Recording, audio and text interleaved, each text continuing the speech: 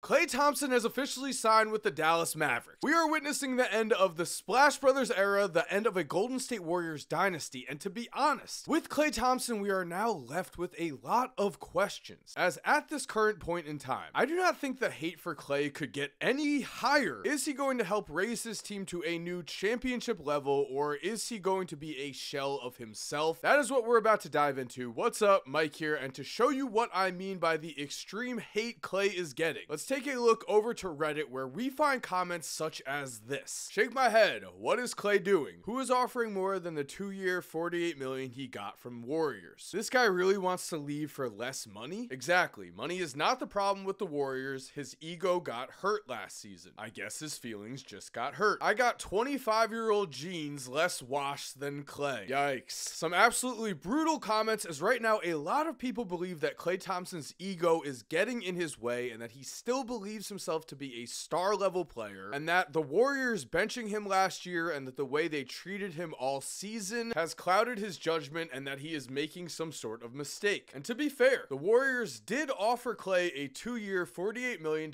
extension. However, Klay thought he was worth more. He bet on himself. He not only did not take this money, but also appears to have felt that this was an insult from an organization where he is undoubtedly a legacy player. As during this offseason, it has been reported that Klay really had no desire at all to re sign with the Warriors after what happened in this past season. He felt disrespected from the team and he had almost no communication with Golden State during the free agency period as he made it clear that he wanted to move on. This came after Golden State did bench Klay this season. It also came after he shot 0 for 10 in the play in game against the Sacramento Kings. And as we saw from the comments from Reddit, a lot of people believe that this is Klay's ego getting in the way of his rational thinking, but let's be honest, we are not Klay Thompson. We don't know exactly what happened between the franchise and Klay in these talks at first. The fact that it has gotten to this point is pretty shocking. Klay has been in the NBA for 13 years now, two of which he sat out with injuries, and all of those seasons it appeared he was a loyal potential lifer for the Golden State Warriors, as with his time in Golden State, he was the second splash bro, a key piece of a core that won four championships as Klay himself was a five-time All-Star in the process. He is undoubtedly a Hall of Famer. He will be remembered forever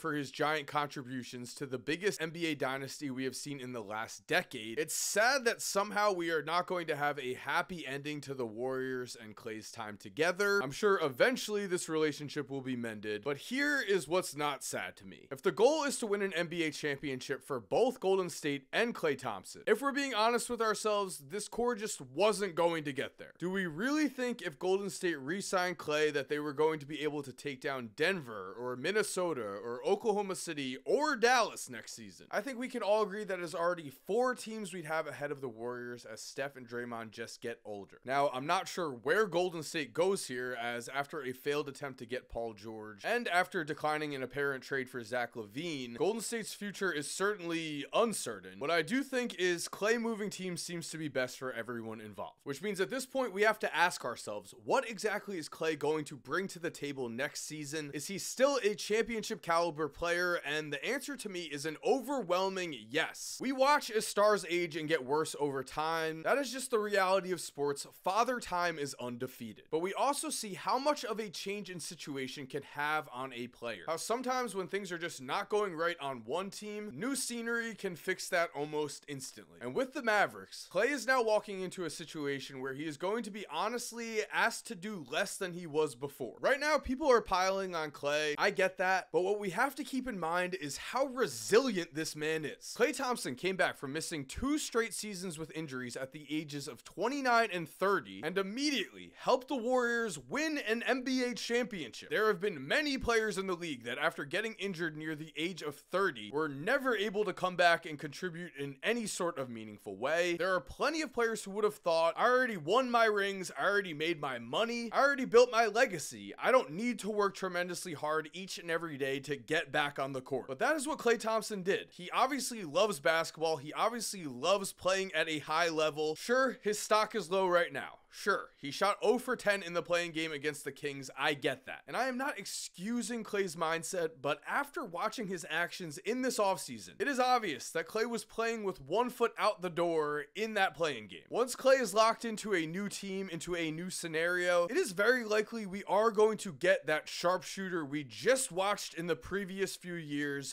back. We need to remember here that after missing those two seasons with injuries, Klay came back and was only able to play in 32 games in the regular season in 2022, but then in the playoffs, while Steph is remembered as being an absolute superstar, Klay more than held his own, averaging a key 19 points per game, the second most on the Warriors during that title run, as Golden State took home their fourth NBA championship during this era. That was just two seasons ago. Two seasons ago, we all believed Klay was a worthy second option on a title team, and then in 2023, Klay averaged 21.9 points per game in 69 regular season games while shooting 43.6% from the field. While his numbers did drop to 17.9 points per game this last year, Klay played less minutes and also played in 77 games, meaning that despite those injuries, he's still able to be a durable player. And his shooting percentages were almost the exact same in a year where he was clearly not happy playing basketball. Playing for the Mavericks, Klay will not be expected to be the second option. As we know, Luka at times can be a one-man team on offense, while Kyrie is a high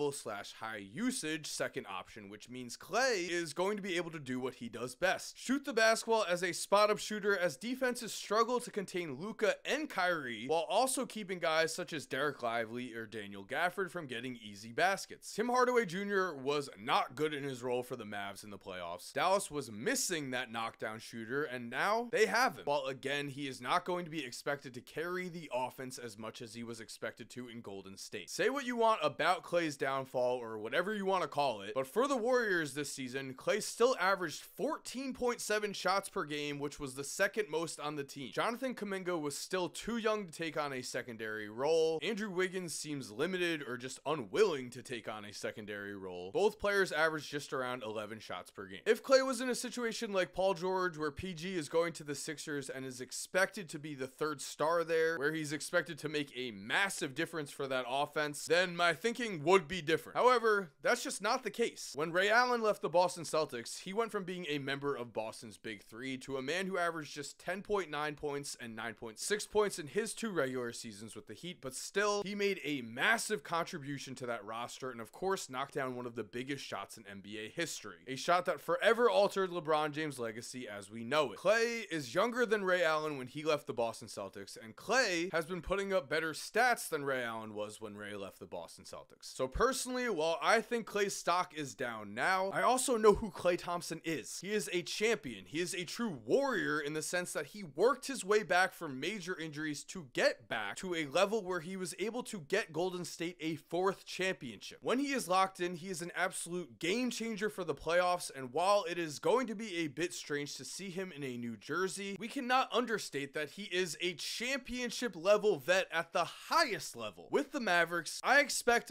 big things. I expect some big playoff games. I expect him to be a high level player in his new role. I expect him to have a true difference making impact. With Golden State, things went sour. The fit was no longer there, but I think that will quickly be forgotten when we see Klay light it up yet again next year. So thank you for watching. I hope you enjoyed today's video. If you're new to the channel, make sure to subscribe and turn on post notifications. And if you're still here, I think you'll enjoy this video on the Paul George to the 76ers move, or this video on the worst recent NBA draft pick busts in the last 10 years. If you're already subscribed, thank you so much for supporting. You're awesome. We all know it. And as always, have an awesome day and cue that music.